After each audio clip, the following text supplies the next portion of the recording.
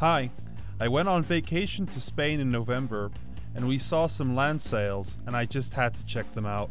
I'm not sure how well you can see on the video, but they were really cool. It's great to see real land sails after making a board game about them, and I just wanted to show you guys. So, this is my father.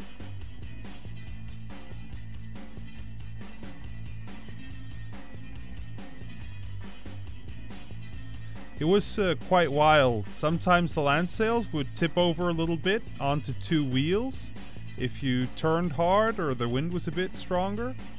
And here you can see me having a go. So, uh, thanks for watching guys. Uh, hope you enjoyed. Cheers.